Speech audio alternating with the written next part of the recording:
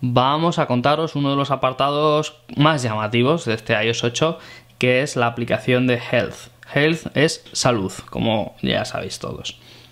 Y bueno, pues la, aplicación de, Health está destinada pues a, a la salud, al fitness, al ejercicio físico, ya sea del tipo que sea. Y bueno, pues han hecho una nueva, han diseñado una nueva aplicación que bueno, pues como veis tenemos un dashboard que no tenemos actualmente ninguna tarjeta.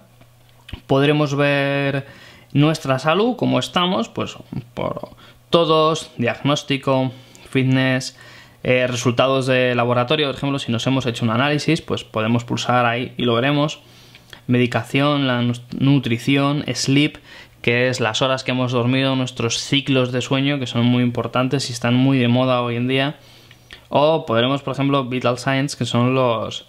Eh, el pulso, por ejemplo, uno de los... Eh, el pulso, el ritmo cardíaco, pues muy importante si, si estamos corriendo o si simplemente pues, queremos llevar un control de esto. Y además, bueno, pues nos podemos crear un perfil con nuestro eh, tipo de sangre, nuestro sexo y nuestro día de nacimiento. Además, bueno, pues se puede crear un, un ID médico que por ejemplo, bueno, pues este ID médico lo que dicen es que puede ser muy importante en caso de emergencia, en el cual podemos meter nuestras alergias y nuestras condiciones médicas. Pues por ejemplo, podemos decir que somos alérgicos a los cacahuetes y que tenemos unas condiciones médicas que por ejemplo tenemos asma. Pues bueno, pues son cosas importantes que pues nos pueden salvar la vida. Y además, bueno, pues tenemos la, una pestaña de fuentes eh, mediante la cual otras aplicaciones pueden, eh, pueden solicitar permiso para usar toda esta aplicación de Health. Y aquí es donde entra la chicha de, de Health, de salud, ya que bueno, pues se espera que esta, esta ventana de fuentes está absolutamente completa de aplicaciones que soliciten. Por ejemplo, lo podría hacer eh, una aplicación que mida nuestro pulso. Podría ser la aplicación de correr que automáticamente se nos meta aquí las calorías que hemos gastado, nuestro ritmo, nuestro estado físico.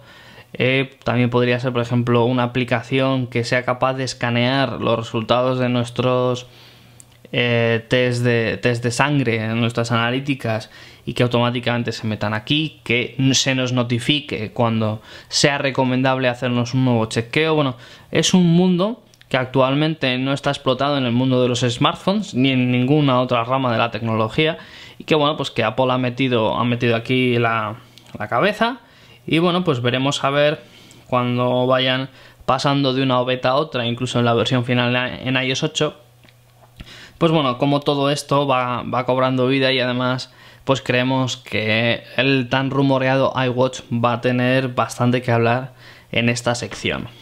Bueno, os vamos a mostrar alguna de las pestañas, por ejemplo, podemos ver fitness, podemos hablar, por ejemplo, de distancias, si hemos corrido una maratón o lo que sea, y bueno, pues podemos decir que se muestre en el dashboard, que son como, sean como pequeños widgets, accesos directos que no hace falta que entremos aquí en My Health, luego en Fitness, sino que ahora os mostraremos que aparece en Dashboard.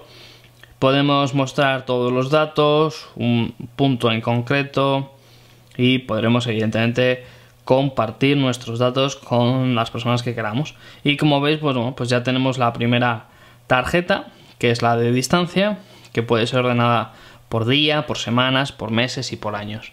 Tal forma que bueno, se nos indique que en el último año hemos andado un kilómetro y que necesitamos mejorar para el año 2015 nuestra marca a dos kilómetros o bueno, pues cualquier cosa.